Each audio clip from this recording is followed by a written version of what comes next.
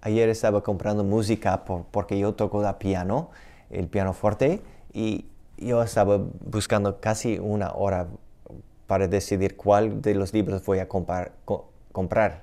Y yo encontré una que tiene una canción que yo encanto, que es en inglés, dice, Of the Father's Love Begotten. En español se llama Del amor del Padre ha nacido. Y la idea de esta canción es que del amor del Padre vino Cristo. Y eso encuentra su inspiración en nuestra primera lectura de hoy, de San Juan. Y toda esta semana vamos a escuchar de, esa carta de San Juan, que habla mucho del amor. Escucha lo que dice en nuestra primera lectura.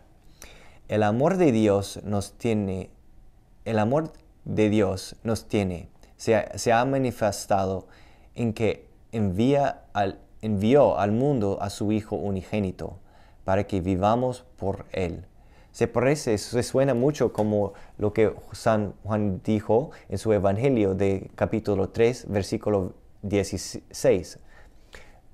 Por tanto, amaba Dios al mundo que mandó su propio Hijo, para que todos que creen en Él pueden tener la vida eterna. Y eso, ese, fue inspiración para esa canción que es, fue escrito en, por un, uh, al inicio fue un poema de un, un español uh, que escribió en latín y escribió ese poema en, el mil, en cerca del año 350, ya muy temprano.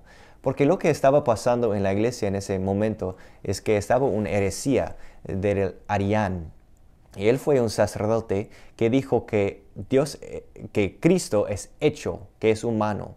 Y después se, creó a ser, hijo de Dios. Y eso fue problemática porque si, eh, habla de la libertad de Dios. Si Él no tenía decisión de entrar en el mundo eh, como fue obligado a ser hijo de Dios, eso cambia las cosas.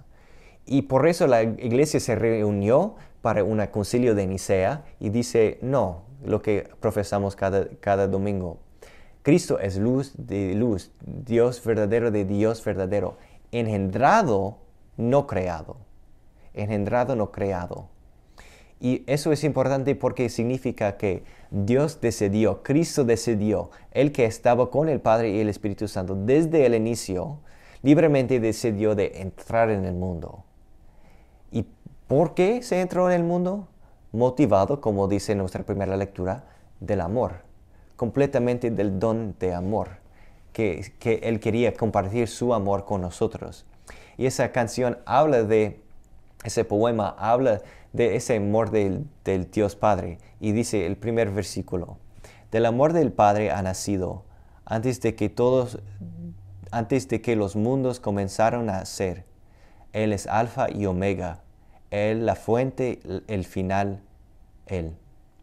De las cosas que son, que han sido y que los años venideros verán, para siempre y por siempre.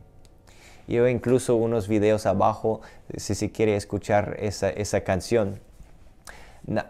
ese poema fue usado uh, por los monjes y la, la iglesia desde el siglo XI como un canto en latín y en el cerca del año 1850 se fue traducido en inglés de la iglesia anglicana y fue bien mejor conocido ahora en el mundo protestante de música que en nuestra católica que, que dio la vida a esta, esta canción. Es un poco triste y no, yo no pude encontrar traducción de esta canción desafortunadamente en español, pero he incluido aquí en, abajo en inglés para que se pueda disfrutar y también las letras para que se pueda disfrutar también en, español. Pero esa carta nos, ¿por qué duraba tanto tiempo ese poema, esa canción, ya desde el tercer siglo hasta hoy? ¿Por qué? Porque cada uno de nosotros necesita recordar el amor de Dios Padre. Y ese amor de Dios Padre habla a cada generación.